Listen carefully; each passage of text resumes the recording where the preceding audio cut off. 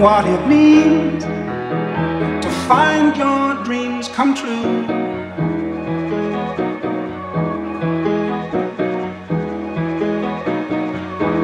And I wonder if you know what it means to find your dreams come true.